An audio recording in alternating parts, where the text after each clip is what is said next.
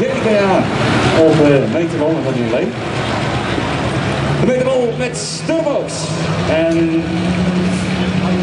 we gaan het helemaal beleven.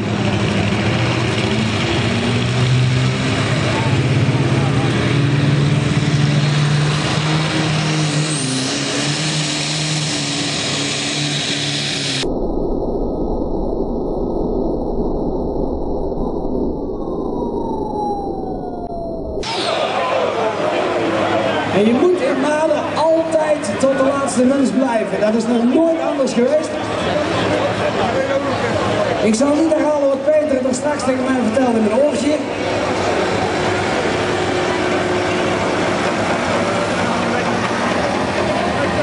Dit is gewoon helemaal dikke pot.